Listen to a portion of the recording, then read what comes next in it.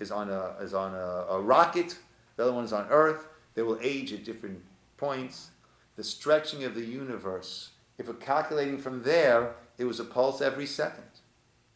Right? In other words, let- let's go back to what we mentioned when we started with the star. Right? We see a star in the sky, that star is probably 100 million years old. Right?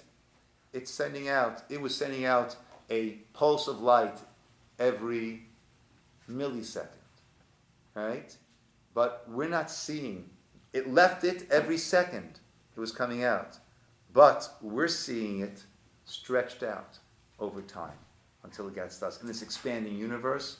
So therefore, if we're measuring those pulses, time becomes that much longer. Those are three approaches that we have. I'll just share with you a, a, a, a, a little joke. Okay. so um, a person is in a desperate financial situation, and he calls out to God, and he says, "God, it says you have all the silver, all the gold. For you, all the gold is like is like nothing. Right? Can you please, please, please send me, send me, send me some kesef, send me some zahav? Right?